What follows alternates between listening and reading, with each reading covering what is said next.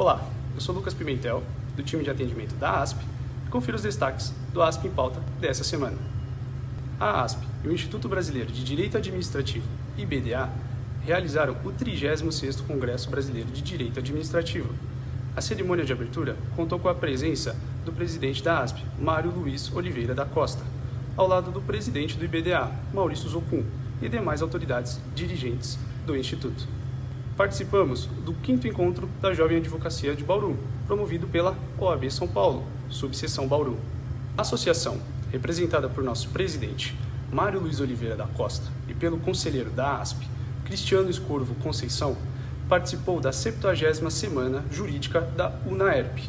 Na ocasião, o Dr. Cristiano ministrou palestra aos estudantes presentes sobre crimes tributários.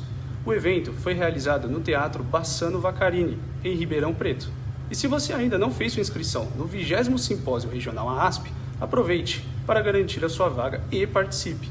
O evento será realizado no dia 18 de novembro em Ribeirão Preto. Confira a programação. Todos esses destaques você encontra no portal ASP e em nossas redes sociais.